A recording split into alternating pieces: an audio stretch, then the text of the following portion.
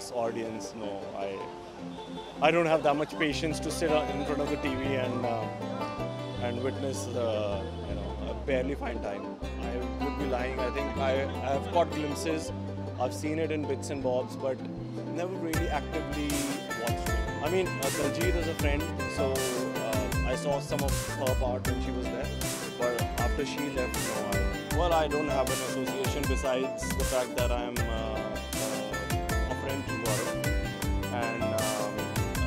he has. I have. I've witnessed his journey from the time where he was an artist to the time where he, he started venturing into photography and then he started exploring his creative talent, got into production, started making music videos.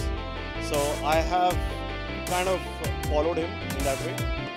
And I am I'm here because I feel that he's come a long way and uh, he's still so you know he, he has his aspirations and ambitions and ambition, ambitions to go forward this year and has got like good plans, big plans. Hence, I'm here to uh, to to uh, get a glimpse of what he what he's planning uh, for the year. well, I can't really talk about it, but I have uh, uh, there's there's another web series that I am being roped in. Uh, it's too too soon to discuss the details right now, but as soon as uh, I've signed the dotted line,